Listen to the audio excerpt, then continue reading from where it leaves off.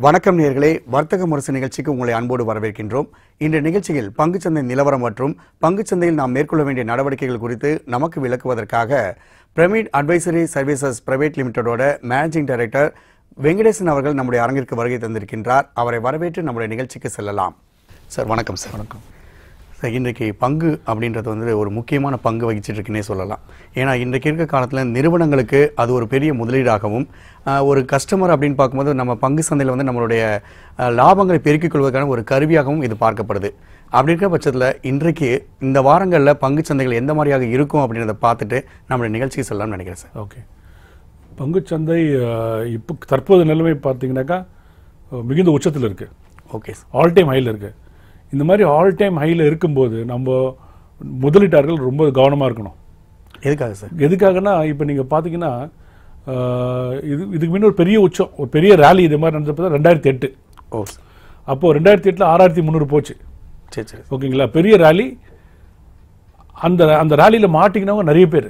Okay okay sir so அந்த ரேலியை திருப்பி அந்த ஆறாயிரத்தி முந்நூறு பார்க்கறதுக்கு அஞ்சு வருஷம் ஆச்சு. அப்போ ரேலி அப்படின்ற போது வந்து பல நிறுவனங்கள் போட்டி போட்டு வருவாங்களா சார்? எப்படி அந்த இல்லை ரேலின்றது ப்ராட் மார்க்கெட் ரேலியில் பங்கு பங்கை வந்து முதலீட்டாளர்கள் சேஸ் பண்ணுறாங்க ஓகே ஓகே ஒரு பொருள் இருக்குது மார்க்கெட்டில் எல்லாரும் போய் அந்த பொருளை வாங்க போனால் அந்த பொருளோட ப்ரைஸ் ஏறுது.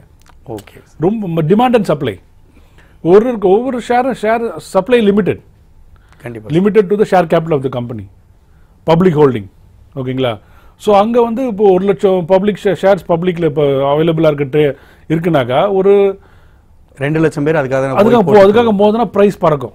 கண்டிப்பா சார். ஸோ அதனால் இப்போ வந்து அந்த மாதிரி ஒரு நிலைமையில் இருக்குது போ போன வருஷம் என்னன்னாக்கா ப்ராட் பேஸ் ரேலி ஓகே போன வருஷம் ஃபுல்லாக பார்த்தீங்கன்னா பெரிய ரேலி எல்லா பங்கும் மேலே போச்சு. ஆனால் இந்த எட்டு மாசத்துல வந்து புது உச்சம் போயிருக்கு. ஆனால் ஒரு ஏழு எட்டு பங்குகள் தான் உச்சத்துக்கு போயிருக்கு.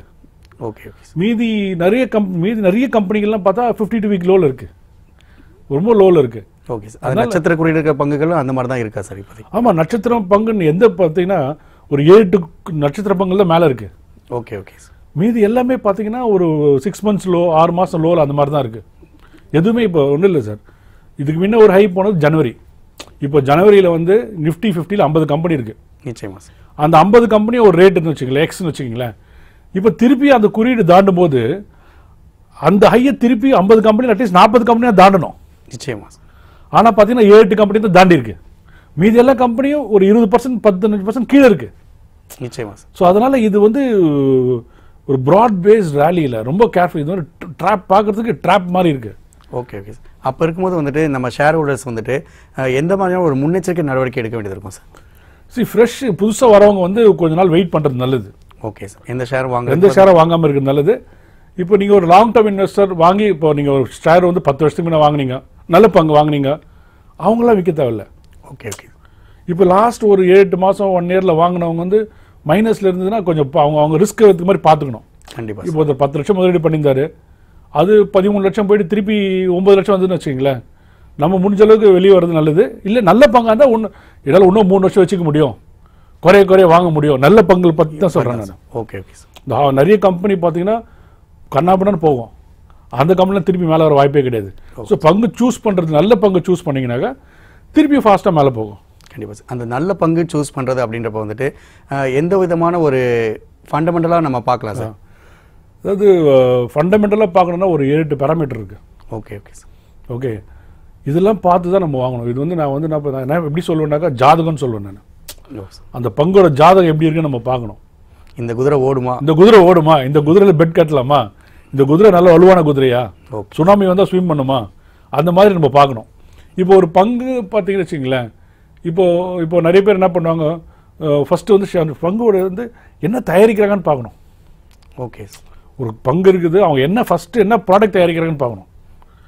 அந்த ப்ராடக்ட் வந்து இன்னும் அஞ்சு வருஷம் பத்து வருஷம் மார்க்கெட்டில் இருக்குமான்னு பார்க்கணும். கண்டிப்பா சார் இப்போ நீங்கள் ஒன்றும் இல்லை இப்போ ஒன்றும் இல்லை ஃபெவிகால் இருக்குல்ல. ஆமாம் சார் அதுக்கு வந்து தயாரிக்கிற கம்பெனின்னு பிடிலைட் ரெக்கமெண்டேஷன் கிடையாது எக்ஸாம்பிள் சொல்கிறேன் நிச்சயமா சார் ஓகேங்களா? ஸோ அந்த கம்பெனிக்கு வந்து யாராவது காம்படிட்டர் இருக்காங்களா? எனக்கு தெரிஞ்சு காம்படிட்டர் இல்லை. ஒரு பேங்க்னா ஐம்பது கூட போட்டி போற அளவுக்கு இல்ல. இருக்கிறாங்க. இருல இல்லை. அந்த மாதிரி லிஸ்டட் ஸ்பேஸில் யாருமே இல்லை. லிஸ்டட்ல இல்ல. யாருமே இல்லை. எனக்கு தெரிஞ்சு இல்லை. ஓகே ஸோ அது வந்து ஒரு புரியுதுங்களா? அதே மாதிரி நீங்கள் பார்த்தீங்கன்னா இப்போ வந்து இந்த ஜிலட் ஷேவிங் ஸ்டிக் இருக்குது நிச்சயமா. பேபி ஃபுட் இருக்குது. இதை மேனுஃபேக்சர்ஸ் இருக்காங்க இல்லை. ஸோ இவங்களுக்குலாம் காம்படிட்டர் ரொம்ப கம்மி. ஓகே ஸோ அந்த மாதிரி நம்ம பங்கு சூஸ் பண்ணும்போது அவங்க என்ன தயாரிக்கிறாங்க? அந்த நிறுவனத்தோட ஓனர்ஸ் நம்பிக்கையான ஆளுங்களா நம்பிக்கையான ஆள் கூட பழகினா தான் நம்மளுக்கு நல்லது. கண்டிப்பா சார். ஆறு ஒரு இண்டிவிஜுவலுக்கே வந்து ஏமாற்றம் இருக்காது. ஒரு இண்டிவிஜுவலே வந்து ஒரு நல்லவங்க கூட பழகினோம்னா ஒன்றும் பிரச்சனை கிடையாது. ஒரு கெட்டவங்க கூட பழகினான்னா எல்லா விதத்திலும் பாதிப்பு வரும். அதுதான் கம்பெனிக்கும் ஓகே ஓகே. அதே மாதிரி பார்த்தீங்க அப்படின்னா ஷேர் மார்க்கெட்டிங் வந்து நீங்கள் இப்போ வந்து ஒரு பெரிய ரேலி நடந்துட்டு இருக்கு அப்படின்னு சொல்கிறீங்க இந்த ரேலியை வந்துட்டு கண்டிப்பாக வந்துட்டு கவர்மெண்ட் பார்த்துட்டு தான் இருக்கும். ஸோ இந்த கவர்மெண்ட் வந்து அதை ரெஸ்ட்ரிக்ட் பண்ணுற அளவுக்கு ஏதாவது பண்ணுவாங்களா சார்? இல்லை கவர்மெண்ட் வந்து ஜென்ரலாக எனக்கு கேட்டிங்கன்னா அது ஒரு தலையிடவே கூடாது. ஓகே சார் இது வேற அது வேற. அவங்க பாட்டு கவர்மெண்ட் வந்து அவங்க கவர்மெண்ட் பா ரன் பண்ணுறதை பார்த்துட்டு இருந்தால் போதும். தே ஷேர் மார்க்கெட்டில் ரெஸ்ட்ரிக்ட் பண்ண ட்ரை பண்ணாங்கன்னா ரொம்ப டேஞ்சர் அது. அந்த மாதிரி அவ்வளோ சீக்கிரம் பண்ண முடியாது அந்த மாதிரி. அந்த லிக்விடிட்டி நம்மளோட நீர் ரொக்கத்தன்மையை வந்து பாதுகாக்கிறதுக்கு அப்போ ஆர்பிஐ ஏதாவது பண்ணுமா இதுதான் வெரி ஃபேண்டாஸ்டிக் கொஸ்டின் ஸோ நீங்கள் கவர்மெண்ட்டால் ஒன்றும் பண்ண முடியாது. ஆர்பிஐனால பண்ணலாம். ஓகே ஸோ ஆர்பிஐ என்ன பண்ணுவாங்கனாக்கா சி ஜென்ரலாக லிக்விடிட்டின்னு அது பணம். பணம் வந்து பணம் மார்க்கெட்டில் அவைலபிலிட்டி பணப்புழக்கம்.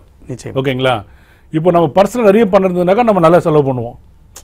பர்ஸில் இன்னைக்கு ஐநூறுரூபா தான் எடுத்துகிட்டு வந்தோம்னா செலவு பண்ண முடியாது. நிச்சயம். இழுத்து பிடிச்ச மாதிரி ஆகிடும் ஸோ ஆர்பிஐயில் என்ன பண்ணுவாங்கனாக்கா அதுக்கேற்ற மாதிரி டூல்ஸ் இருக்கு அவங்ககிட்ட. இப்போ லாஸ்ட்டாக பார்த்தீங்கன்னா இப்போ லாஸ்ட் ரேட் ஹைக் பண்ணியிருக்காங்க ஓகே. இன்ட்ரெஸ்ட் ரேட் ஹைக் பண்ணாங்கன்னா என்ன பண்ணாங்க பணம் வந்து பேங்க்லேருந்து ஆர்பிஐக்கு போகும். நிச்சயமா ஆர்பிஐக்கு போனால் என்ன ஆகும்னாக்கா இப்போ பேங்க்கில் வந்து நூறுரூபா இருக்குது வச்சுக்கிங்களேன். ஓகே? இருபது பர்சன்ட் ஆர்பிஐயில் வச்சுருக்காங்க வச்சுக்கோங்க. Okay? CRL CRL SLR. RBI சொல்கிறான் எனக்கு அடுத்த அடுத்த இனிமேல் வித்தின் மினி இன்னி இனிமேல் என்ன பண்ணோம் நூறுரூபா வந்ததுனாக்கா இருபத்தஞ்சு ரூபா என்கிட்ட வச்சுக்கோன்னு சொல்கிறான் ஓகே. ஸோ முன்ன இதுக்கு முன்ன இருபது ரூபா தான் வச்சுருந்தான். அப்போ எண்பது ரூபாய் லென் பண்ண முடியும். கண்டிப்பாக சார். புரியுதுங்களா? இப்போ செவன்ட்டி ஃபைவ் செவன்ட்டி ஃபைவ் தான் லென் பண்ண முடியும். ரெண்டாவது எல்லா பேங்க்குக்கும் ப்ராஃபிட் டார்கெட் இருக்குது ஓகே இப்போ எண்பது ரூபா லென் பண்ணுறான்னு வச்சுக்கிங்களேன் அதுக்கு அவங்க ஒரு நெ- ஒரு நெட் இன்ட்ரெஸ்ட் இன்கம் ஒன்று பார்ப்பாங்க. நிச்சயமா ஒரு நான் ஒரு மூணு பர்சன்ட் வச்சுக்கிங்க மூணு பர்சன்ட் பார்க்குறாங்கன்னா அதுக்கேற்ற மாதிரி டெபாசிட் லெண்டிங் அட்ஜஸ்ட் பண்ணுவாங்க. இப்போது முன்ன என்கிட்ட எண்பது ரூபா இருந்தது நான் மூணு percent net net interest margin வச்சுருந்தேன். எழுபத்தஞ்சு ரூபா இருக்குது அதே மூணு பர்சன்ட் ஒன்று என்ன பண்ணோம்? நம்மளோட இதுக்கு இன்ட்ரெஸ்ட் ரேட்டு ஏற்றுவாங்க car loan housing loan personal loan எல்லா ரேட்டும் மேலே போக ஆரம்பிக்கும். கண்டிப்பாக ஸோ அதனால என்ன ஆகும்னாக்கா இது வந்து லேகிங் இண்டிகேட்டர் ஸோ அதனால என்ன ஆகும்னாக்கா எக்கானமி ஸ்லோ டவுன் ஆகும். வாங்குற தன்மை வந்து குறைஞ்சிட்டே குறைஞ்சிட்டே வரும். ஸோ இப்போ வந்து கார் லோன் இப்போ ஹவுசிங் லோன் ஏழரை பர்சன்ட்னா எல்லாம் நிறைய பேர் வாங்கலாம். கண்டிப்பாக எட்டு எட்டரை வரைக்கும் கூட வாங்குவாங்க ஒம்பது பத்து போச்சு வச்சுங்க நல்லா அவங்க எல்லாரும் வெயிட் பண்ண ஆரம்பிப்பாங்க. நிச்சயமா. குறையட்டும். குறையிட்டோன்னு சொல்லிட்டு. அதே மாதிரி பேங்க் எஃப்டி ரேட்டு மேலே போக ஆரம்பிக்கும். ஆஹ் நீங்க சொன்ன மாதிரி வந்து இப்போ பேங்கிங் செக்டரில் வந்துட்டு இந்த மாதிரி ஒரு ரெஸ்ட்ரிக்ஷன் கொடுக்கறனால வந்துட்டு ஷேர் மார்க்கெட்டிங் வந்து ஒரு அளவுக்கு ஸ்மூத்தாக போகிறதுக்கான காரணங்களாக இருக்கும் அப்படின்னு சொல்கிறீங்க அதே மாதிரி வந்து பார்த்தீங்கன்னா இப்போ இண்டஸ்ட்ரியல் சைடில் வந்து பார்க்கும்போது வந்துட்டு அவனுக்கு வந்து இந்த ஷேர் மார்க்கெட்டில் வந்து இன்ட்ரெஸ்ட் ரேட் அதிகமாக்குனா அவனுக்கு ஒரு சில பாதிப்புகள் ஏற்படும் சார். அந்த பாதிப்புகள் நம்மளோட ஷேர் மார்க்கெட்டில் நியூ கமர்ஸாக இருக்கட்டும் இல்லை ஏற்கனவே லாங் டேர்மாக இருக்கட்டும் அவங்களுக்கு எந்த விதமான மாற்றங்களை ஏற்படுத்தும் இல்லை அது இது வந்து இன்ட்ரெஸ்ட் ரேட் ஹைக் பண்ணாலே பெரிய சைக்கிள் அது. நிச்சயமா சார். எப்படின்னா இப்போ நான் இப்போ வந்து இப்போ ஒரு கடன் ஒரு க- ஒரு ஒரு கம்பெனி வந்து ஆயிரம் கோடி பாரோ பண்ணிட்டு இருக்காங்க வச்சுங்களேன் பத்து பத்து பத்து பர்சன்ட் பே பண்ணிட்டு இருக்காங்க. ஓகே நூறு கோடி வட்டி கட்டிட்டு இருக்காங்க. இப்போ பேங்கர் என்ன பண்ணுவான்? இன்ட்ரெஸ்ட் ரேட் ஏற்றிடுவான் ஸோ வந்து பன்னெண்டு பர்சன்ட் ஆகணும் நூற்றி இருபது கோடி கட்டணும். நிச்சயமா. ஸோ இருபது கோடி வட்டி அதிகமாக தொட்டு அவனுக்கு லாபம் குறையும். ஓகே சார் லாபம் குறைஞ்சா அவனோட இன்வெஸ்ட்மெண்ட்டும் குறையும். அப்போ ஷேர் வந்து அப்போ ஆட்டோமேட்டிக்காக ஆட்டோமேட்டிக்காக என்ன வந்து கம்மியாகிடும். ஆமாம் டிவிடெண்ட் கம்மியாகும். அதனால so என்ன பண்ணுவாங்க? ஓஹோ இனிமேல் ஷேரோட இந்த கம்பெனிலாம் இனிமேல் ஸ்லோ டவுன் ஆக போகுது. ஸ்லோ டவுன் ஆகுன்ற போது என்ன பண்ணுவாங்க? பெரிய பெரிய முதலீட்டாளர்கள் தான் ஸ்லோ விற்பாங்க விற்க ஆரம்பிப்பாங்க. கண்டிப்பாக சார் ஏன்னா எக்கானமியை வந்து ஸ்லோ டவுன் பண்ணுறாங்க பேங்க் Okay. ஏன்னா இப்போ வந்து இப்போ வந்து கச்சா எண்ணெய் உய- உயர்ந்த உயர்ந்த நிலையில் இருக்குது இதில் இன்ஃப்ளேஷன் இப்போ பணவீக்கத்தை அதிகப்படுத்துது. கண்டிப்பாக அப்போ இந்த மாதிரி கம்மியாக இருக்க டைமில் வந்துட்டு ஒரு புதுசாக வரவங்க வந்துட்டு கம்மியாக இருந்தால் வாங்கி போட்டால் நல்லதுன்னு சொல்கிற மாதிரி வாங்கி போட்டால் நல்லதா சார்? இல்லை புதுசாக வரவங்க வந்து இப்போ நீங்கள் வந்து ஒரு நீங்கள் டிகிரி படிக்கிறதுக்கு முன்னே ப ப எல்கேஜி டு டென்த்து லெவன்த் எல்லாம் முடிச்சுட்டு தான் நீங்கள் டிகிரிக்கே போகிறீங்க டிகிரியே மூணு வருஷம் ஆகுது. புரியுதுங்களா? பங்குச்சந்தை மட்டும் எல்லாம் என்ன பண்ணுறாங்க டக்குன்னு உடனே வந்துடுறாங்க. ஹோம்ஒர்க் பண்ணணும் ஓகே ஹோம்ஒர்க் பண்ணணும் ஒரு மரத்தை வெட்டுற ஒன் ஹவரில் வெட்டினோம்னா அட்லீஸ்ட் முப்பத்தஞ்சு நாற்பது நிமிஷம் கத்தியை தீட்டணும். அந்த மாதிரி ஹோம்ஒர்க் பண்ணிட்டு இப்போ நம்ம ஒன்றில் ஒரு மொபைல் வாங்குறது ஹோம்ஒர்க் பண்ணுறோம் கண்டிப்பாக பக்கத்து வீட்டுக்கார சொன்னாலும் மொபைல் வாங்க மாட்டோம் நம்ம. ஒரு ஃப்ரிட்ஜ் வாங்குறோம் ஹோம்ஒர்க் பண்ணுவோம். ஒரு கார் வாங்கணும் ஹோம்ஒர்க் பண்ணுவோம். ஆனால் ஷேர் மட்டும் என்னன்னாக்கா யார் சொன்னாலும் வாங்கிடுவாங்க. ஆடிட்டர் சொல்கிறாரு பக்கத்து வீட்டுக்கு அவர் பெரிய ஆள் ஒரு பணக்காரர் அவர் சொல்கிறாரு இது வந்து நம்ம வந்து ஷேரை பொறுத்த வரைக்கும் வந்து திருவள்ளுவர் என்ன சொல்லியிருக்காருனாக்கா எப்பொருள் யார் யார் வாய் கேட்பினும் அப்பொருள் மெய்ப்பொருள் காண்பது தெரியும் மாதிரி எந்த ஷேரின் பேர் யார் யார் வாங்கி கேட்பினும் அந்த பங்கோட மெய்ப்பொருள் காண்பதறிவு. கண்டிப்பா சார். ஸோ அவங்க அந்த அந்த பங்கு வந்து யார் யார் யார் யார் ப்ரொமோட்டர் என்ன ஷேர் கேபிட்டல் எப்படி டிமாண்ட் எப்படி இருக்கு அவங்களுக்கு? இப்போ இப்போ இப்போ- வந்து ஜில்லட் இருக்குல்ல? கண்டிப்பா சார். விலை ஏறுத்தினாலும் நீங்கள் வாங்குவீங்க. நிச்சயமா. ஓ விலை பத்து ரூபா ஏறிடுச்சு அந்த ஸ்டிக்குன்னு சொல்லி நம்ம வாங்காம இருக்க முடியாது. மெடிசன் விலை ஏறினா வாங்காம இருக்க முடியாது. அத்தியாவசியமா அத்தியாவசியம் ஆகிடும் அது மாதிரி சோப் இருக்குது விலை ஏறினா வாங்காம இருக்க முடியாது. கண்டிப்பா. ஸோ அதனால என்ன தயாரிக்கிறாங்க? இந்த தயாரிப்புக்கு வந்து டிமாண்ட் எப்படி இருக்கும்? ப்ரைஸ் ஏற்றினா ஒரு ஒன்றும் இல்லை சார் ஒரு நல்ல கம்பெனின்னு வச்சுங்களேன் ஒரு பொருளுக்கு ப்ரைஸ் ஏற்றினா டிமாண்ட் குறையக்கூடாது. கண்டிப்பா சார் அதுதான் நல்ல கம்பெனி ப்ரைஸ் ஏற்றணும் டிமாண்ட் அடி அடி வாங்கணும்னா நம்ம கேர்ஃபுல்லாக இருக்கணும். கேர்ஃபுல் நீங்கள் சொல்கிற மாதிரி வந்துட்டு இப்போ நம்ம ப்ரைஸ் லெவல் பார்க்கும்போது வந்துட்டு வாங்குறவங்களுக்கு கம்மியாக இருக்கும்போது வாங்குறதுக்கு ஈஸியாக இருக்கும் சார். அதே மாதிரி அவங்களுடைய விற்கிற சைடில் வந்து பார்த்தீங்க அப்படின்னா வந்து அதே ப்ராடக்ட் தான் வரும். நீங்கள் டிமாண்ட் சப்ளை வந்துட்டு ஆப்போசிட்டில் இருக்கிறதுனால வந்துட்டு கம்பெனி வந்துட்டு இருக்கிறத பார்க்கும்போது எனக்கு வந்து ஈஸியாக இருக்கும். நான் வந்து இப்போ ஷேரை வாங்கிடுவேன். அதே வந்து பார்த்தீங்க இந்த ஏறுற போது நீங்கள் சொல்கிற மாதிரி வந்துட்டு இந்த கம்பெனி ஏறுமான்றதை நான் பார்த்துட்டு இருக்கும்போது ஒரு சில விஷயங்கள் என்ன ஆகுது அப்படின்னா வந்துட்டு அந்த நல்ல கம்பெனியாக இருந்தால் கூட ஒரு சின்ன ஒரு மிஸ்டேக் பண்ணிடுறாங்க. அதனால் அது வந்து இறங்கிடுது ஸோ அப்போ நான் எப்படி அதை வந்து ரிலீஃப் ஆக முடியும் சார்? ஓகே சார் இதில் சி அதாவது அந்த மிஸ்டேக்கை நிவர்த்தி பண்ண நிவர்த்தி பண்ண முடியுமா பண்ண முடியாதா? கண்டிப்பா சார் அதுதான். சின்ன மிஸ்டேக்கா பெரிய மிஸ்டேக்கா இது வந்து இது இது வந்து ஒரு ஃப்ராடா இல்லை தெரியாமல் இப்போ நம்ம கூட இருக்கோம் சார் முந்நூற்றி அறுபத்தஞ்சு நாளில் அட்லீஸ்ட் ஒரு நாள் ரெண்டு நாள் ஜுரம் வருது இல்லை? ஒரு ரெண்டு நாள் ஜுரம் வர்றதுன்றதுக்காக இப்போ நம்மளை ரைட் ஆஃப் பண்ண முடியுமா. ஸோ அதனால அது சகஜம். அதாவது இது வந்து இதுலேருந்து இந்த கம்பெனி மீள முடியுமா? அது பார்க்கணும். நிச்சயமா. இது இது வந்து தெரிஞ்சு செய்த தவறா? இல்லை தெரியாமல் நடந்ததா?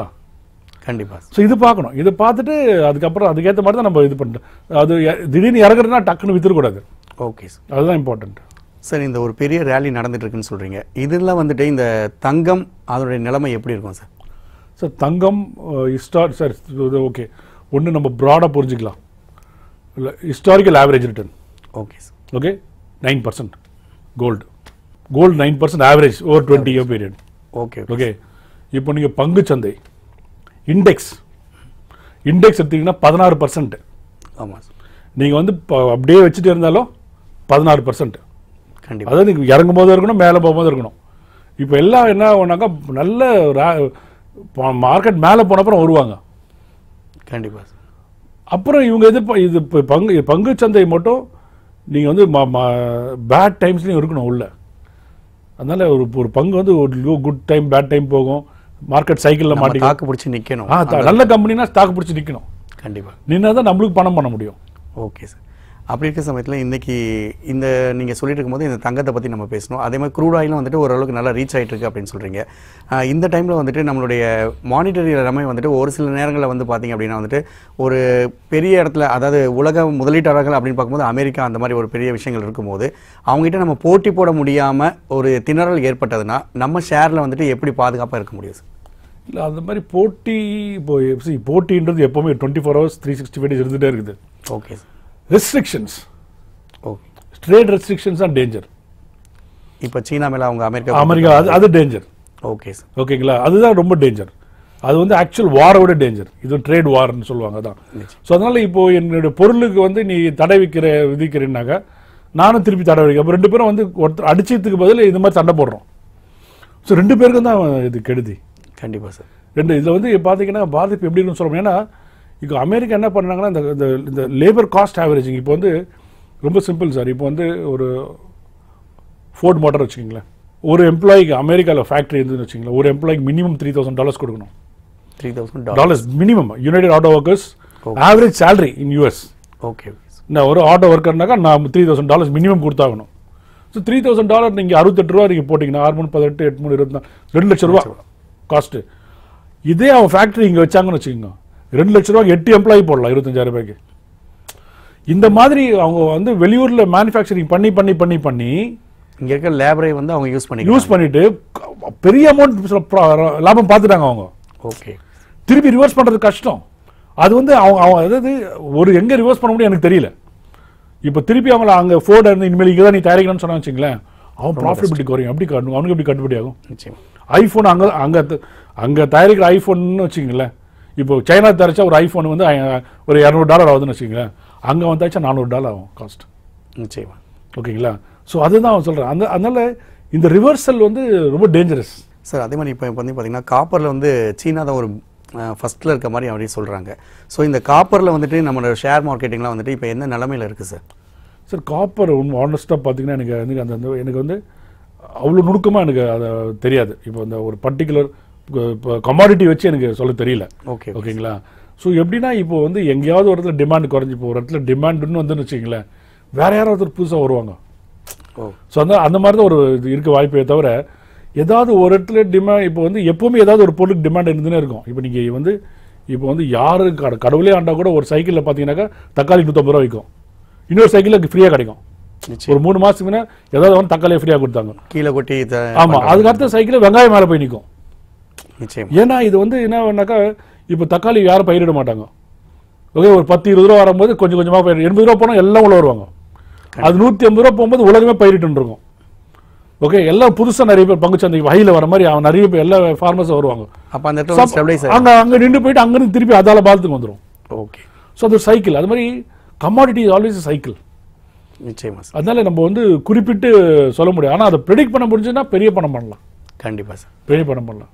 சார் அதே மாதிரி பார்த்தீங்கன்னா இப்போ ஷேர் மார்க்கெட்டில் வந்து பார்த்தீங்க அப்படின்னா வந்துட்டு பல விஷயங்கள் இருக்குது அதாவது லாங் டேர்ம் ஷார்ட் டேர்ம் அப்படின்ற மாதிரி வந்துட்டு புதுசாக வரவங்களுக்கு வந்து அந்த மாதிரி சொல்கிறாங்க அதே மாதிரி விஷயங்கள் பார்த்தீங்க அப்படின்னா ஷேர் மார்க்கெட்டில் வந்துட்டு இதை வந்து எதுக்காக ஒரு கருவியாக பார்க்குறாங்க சார்? எனக்கு அது ஒரு பெரிய டவுட் இருக்குது சார். ஷேர் மார்க்கெட்டை வந்து எல்லாரும் பல ஏன்னா பேங்க்ல வந்துட்டு பல ஒரு இன்வெஸ்ட்மெண்ட் பண்றதுக்கு பல விஷயங்கள் இருக்கு. ஆனா ஷேர் மார்க்கெட் தான் ஒரு பெரிய விஷயமா இன்னைக்கு. ஏன்னா இன்னைக்கு வேர்ல்டு லெவல்லே வந்து பாத்தீங்கன்னா ஒரு நியூஸே இதுக்காக வருது அப்படின்றப்ப வந்துட்டு இது முக்கியமா பார்க்க வேண்டியதா இருக்கு. ஏன் அது மாதிரி பார்க்கறாங்க சார்?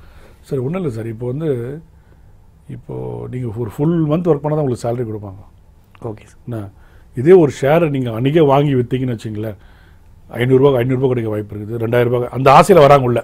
ஓகே ஃபர்ஸ்ட் என்ன பண்ணுவாங்க? ஷேர் மார்க்கெட் வரவங்க பணத்துக்காக தான் வருவாங்க. பணம் ஃபாஸ்ட்டாக மல்டிப்ளை பண்ண முடியும். இது நம்பிக்கையில் தான் வருவாங்க. ஓகேங்களா? ஸோ என்ன ஆகும்? ஒரு சில பேர் தின தினசரி வர்த்தகத்தில் இறங்குவாங்க. அவங்க பார்ப்பாங்க இந்த ஷேர் ஒரு நாளைக்கு ஷேர் ஒரு ஷேர் ப்ரைஸ் பார்த்தீங்கன்னாக்கா ஹை லோ பார்த்தா முப்பது ரூபா இருக்கும். ஓ நம்ம ஏதாவது ஒரு இடத்துல வேணா ஒரு பத்து ரூபா பார்த்தாலே போதுமே அப்படின்னு. ஆனால் அஞ்சு ரூபா கூட பார்க்க முடியாது. அதான் உண்மை. இருக்கு ஆனால் இல்லை. எடுக்க முடியாது. ஓகே. ஓகே. ஏன்னா இது வந்து ஒரு பெரிய இது ஒரு கடல். ஏன்னா சரி ஒன்றும் இல்லை சார். இதில் வந்து பல லட்சம் பேருடைய மைண்ட் உள்ள இருக்கு. ஓகே. ஒரு நாளைக்கு ஒரு ஷேர் இருபது லட்சம் பேர் இருபது லட்சம் ட்ரேட் ஆகுதுனாக்கா எவ்வளோ பேர் அதில் அதை வாங்குறாங்க விற்கிறாங்க நம்மளுக்கு தெரியல. நிச்சயம் அப்போ இது ஒரு கேம்லிங் கூட சொல்ல முடியுமா சார்? கேம்பிளிங்கே கிடையாது இது. கிடையாது. கிடையாது. ஏன்னா இன்ட்ராடே தான் கேம்பிளிங் பண்ணலாம் சொல்லலாம். ஓகே கேம்பிள் பண்ணுறாங்கன்னு சொல்லலாம். லாங் டேர்மெல்லாம் பெரிய வெல்த் கிரியேட்டர் அதை பத்தி நுணுக்கங்கள் அதிகமா தெரிஞ்சிருக்கவங்க தான் அதுல வந்து சாதிக்க ஆமாம் சூட்சமம் தெரிஞ்சவங்க வந்து இன்ட்ராடேலாம் பண்ண மாட்டாங்க. ஓகே சூட்சமம் தெரிஞ்சவங்க அதனுடைய சூட்சமம் தெரிஞ்சவங்க வாங்கி வச்சுட்டு அமைதியாக உட்காந்துட்டு இருப்பாங்க. கண்டிப்பாக சார். அதே மாதிரி பார்த்தீங்கன்னா இன்றைக்கி ஷேர் மார்க்கெட் பற்றி பார்த்தீங்கன்னா நான் நிறைய அட்வைசர்ஸ் இருக்காங்க. அதுக்கான ஒரு பெரிய ஒரு வர்த்தகம் அதாவே வர்த்தகமாக செய்கிறவங்களும் இருக்கிறாங்க. ஸோ அவங்களுடைய நீங்களும் அந்த மாதிரியான ஒரு விஷயங்கள் நீங்கள் பண்ணிட்டு இருக்கும்போது புதுசாக ஷேர் வாங்குறவங்களுக்கு உங்களுடைய அறிவுரைகள் என்னவா இருக்கும் சார் ஸோ புதுசாக ஷேர் வாங்க வரவங்க வந்து ஃபஸ்ட்டு வந்து அட்லீஸ்ட் ஒரு த்ரீ இயர்ஸ்க்கு இருக்க மாதிரி வரணும். ஓகே சார் பங்கு சந்தை பற்றி தெரிஞ்சுக்கிற ஐடியாவில் வரணும். ஒரு சைக்கிள் ஒரு சைக்கிள் வந்து ஒரு த்ரீ இயர்ஸ் சைக்கிள் இருந்தால் தான் மார்க்கெட்டை பற்றி தெரியும் ஓகேங்களா அதுக்கேற்ற கேபிட்டல் எடுத்துகிட்டு வரணும். கேபிட்டலில் நீ வந்து எவ்வளோனா கேபிட்டல் எடுத்துருவாங்க அதை பற்றி பிரச்சனை இல்லை. பட் அது வந்து ரிஸ்க் கேபிட்டல்னு தெரியணும் அது. ஓ. இப்போ என்கிட்ட ஒரு பத்து லட்ச ரூபா இருக்குதுன்னு வச்சுக்கிங்களேன். எனக்கு ப பங்கு சந்தைக்கு நான் வர விரும்புகிறேன் எவ்வளோ அமௌண்ட் நல்லா ரிஸ்க் எடுக்க முடியும்? எல்லாரும் என்ன சொல்லுவாங்க? ஹண்ட்ரட் மைனஸ் ஏஜ்னுவாங்க இப்போ எனக்கு என்கிட்ட பத்து லட்ச ரூபா இருக்குது. இப்போ என்கிட்ட எனக்கு 52 ரெண்டு வயசு இப்போ. இன்னும் என்ன பண்ணலாம் நான் வந்து 48. Forty eight rupees hundred okay so லட்சம் ஃபிஃப்டி ஃபிஃப்டி வச்சுக்கலாமே. ஓகே ஃபிஃப்டி ருபீஸ் ஷேர் மார்க்கெட்டில் போடலான்றாங்க.